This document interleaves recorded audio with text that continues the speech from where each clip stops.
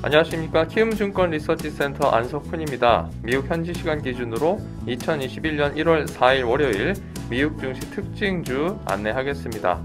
본 시간은 미국 3대 지수와 섹터 현황을 살펴보고 S&P 500 상위 그리고 하위 10개 종목 현황을 확인하고 있습니다.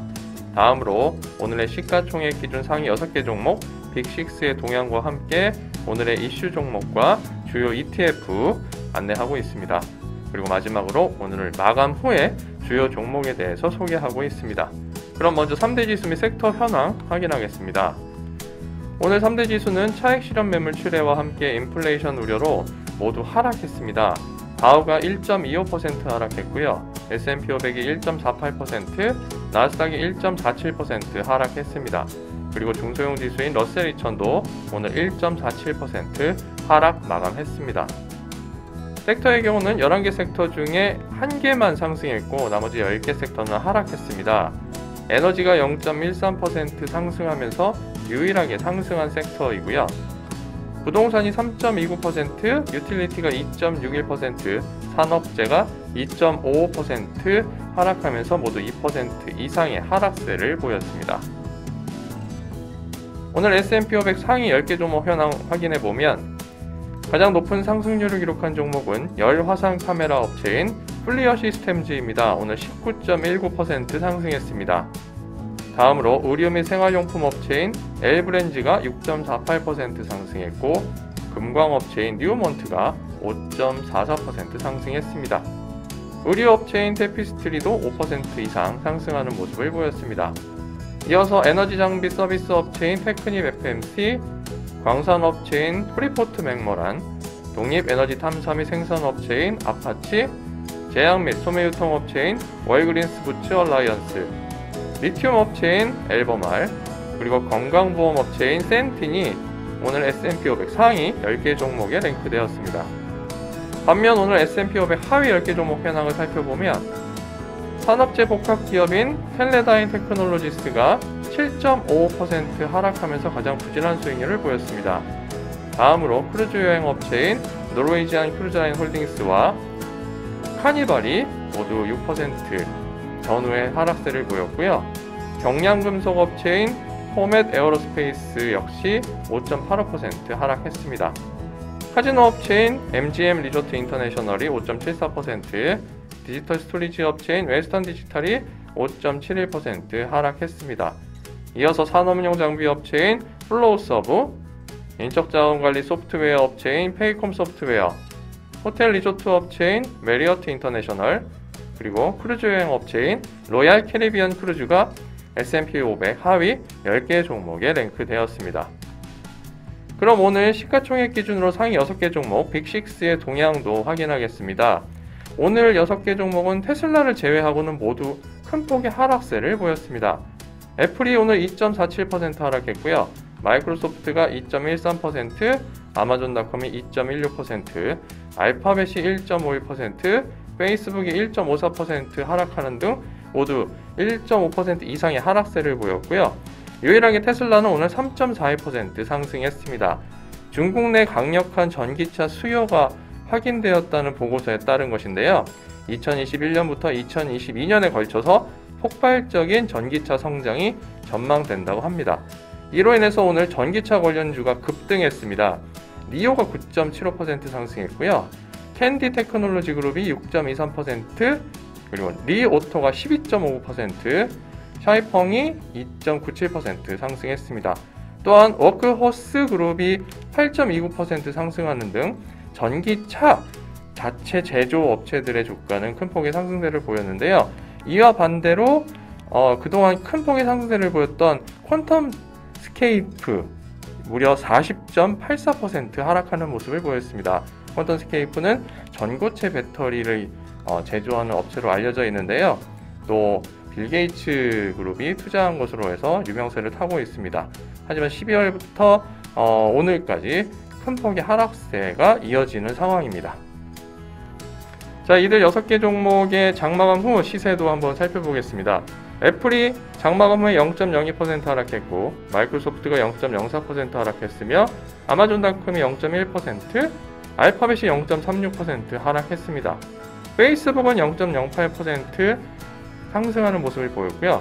테슬라는 장마감 후에도 0.52% 상승하는 모습을 보였습니다.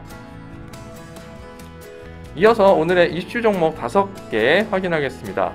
오늘 S&P 500 중 가장 높은 상승률을 기록한 종목입니다. 열 화상 카메라 업체인 플리어 시스템즈는 오늘 19.19% 상승했습니다. 산업재 복합 기업인 텔레다인 테크놀로지스가 동사를 현금과 주식을 포함한 80억 달러에 인수한다고 발표한 영향인데요. 인수합병은 2021년 중반에 종료될 예정이라고 합니다.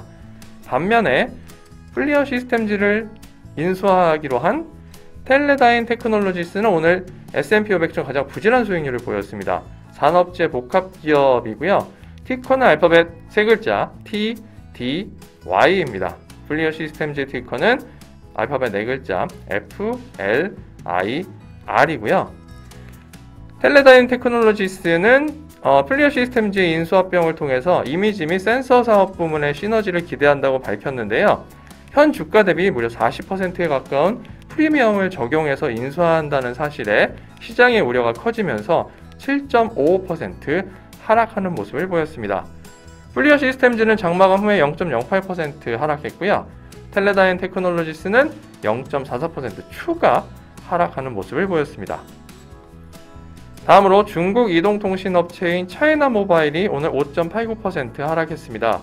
티커는 알파벳 세 글자 C, H, L입니다.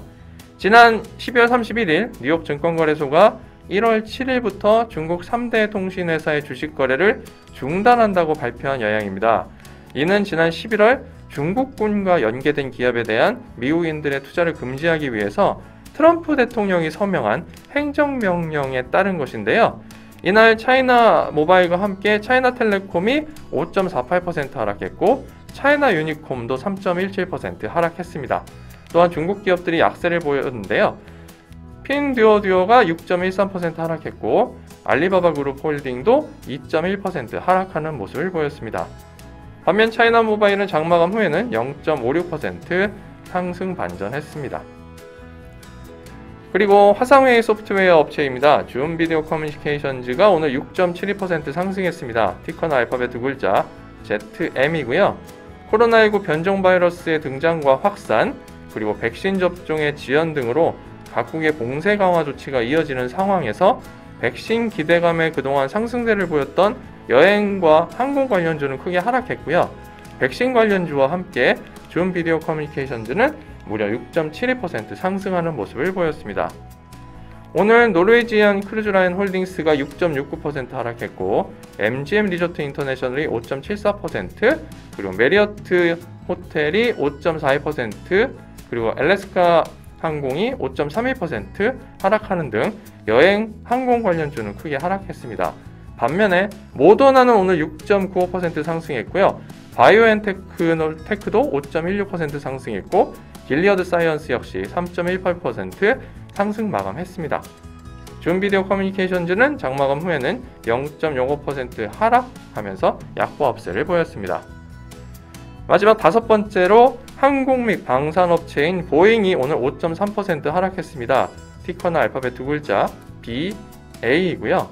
투자 회사인 번스타인이 최근 737 맥스 운항 재개와 코로나19 백신 개발 등의 호재로 인해서 동사 주가가 높은 상승세를 보였지만 실제 항공기 판매와 인도는 부진한 상황이고 따라서 전망 역시 악화됨에 따라 동사의 투자 의견을 시장 수익률 수준에서 시장 수익률 하회로 하향 조정했습니다.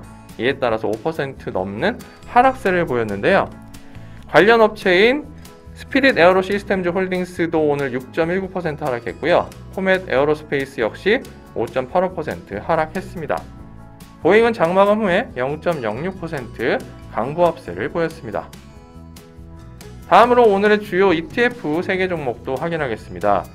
먼저 글로벌 주식시장에 투자하는 ETF 중에 가장 높은 상승률을 기록한 ETF는 아이쉐어즈 MSCI 사우스 코리아 ETF입니다. 티커는 알파벳 세 글자 EWY이고요. 대한민국 주식시장에 상장된 109개의 대형주에 투자하는 ETF입니다. 2000년 5월 9일 블랙락이 출시했고요. 운용자산 규모는 71억 3천만 달러에 이릅니다. 현재 가장 큰 비중을 차지하고 있는 종목은 삼성전자로 24.56%를 차지하고 있습니다. EWY는 장마감 후에도 0.36% 상승하는 모습을 보였습니다. 다음으로 오늘 11개 섹터 중에 유일한 상승세를 보였던 에너지 섹터에 투자하는 ETF죠. 에너지 셀렉트 섹터 스파이더 펀드는 0.16% 상승했습니다. 티커는 알파벳 세 글자 XLE이고요. S&P 500에 속한 27개 에너지 기업에 투자하는 ETF입니다. 1998년 12월 16일 스테이트 스트리트가 출시했고 현재 운용 자산 규모는 134억 달러에 이릅니다. 가장 큰 비중을 차지하고 있는 종목은 엑슨모빌로 전체 23.1%를 차지하고 있습니다. 장마감 후에도 0.05% 상승세를 보였습니다. 그리고 오늘 커머디티 중에 어, 높은 상승률을 기록한 ETF가 있습니다. 글로벌 X 실버 마이너스 ETF입니다. 티커는 알파벳 세 글자 S, I, L이고요. 오늘 7.85% 상승했습니다. 커머디티에 직접 투자하는 건 아니고요. 글로벌 주식시장에 상장된 43개의 은 최강 기업에 투자하는 ETF입니다. 2010년 4월 19일 글로벌 X가 출시했고요. 현재 운용자산 규모는 11억 4천만 달러에 이르고 있습니다. 가장 큰 비중을 차지하고 있는 종목은 위튼 프레시어스 메탈스로 전체 비중의 18.36%를 차지하고 있는데요. 이 회사는 캐나다의 광산 업체입니다. 장마감 후에도 0.63% 상승하면서 오늘 금, 은 어, 가격 상승에 어, 부합하는 모습을 보였습니다. 마지막으로 오늘 마감 후의 주요 종목도 확인하겠습니다. 상승한 종목들을 보면 기업용 IT 서비스 업체인 DXC 테크놀로지가 오늘 정기장에서 0.66% 상승한 데 이어서 마감 후에도 4.55% 상승했습니다. 다음으로 페인트 및 코팅제 업체인 셔윈 윌리엄스도 2.98% 마감 후 상승했고요. 전기 유틸리티 업체인 AES는 1.55% 상승했습니다. 또한 창고 전문 리츠인 엑스트라 스페이스 스토리지는 장마감 후에 1.51% 상승하는 모습을 보였습니다. 반면에 하락한 종목들을 보면 종이 포장 솔루션 업체인 웨스트락이 오늘 장마감 후에 2.5% 하락했고요. 양조 업체인 몰슨 코어스 베버리지가 1.75% 하락했습니다.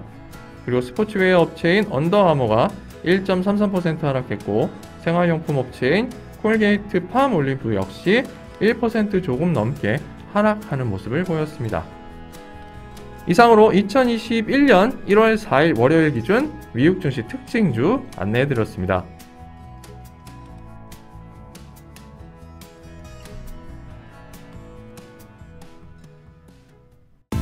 키움증권에서 펀드 살 땐 누구나 선취 판매 수수료 0원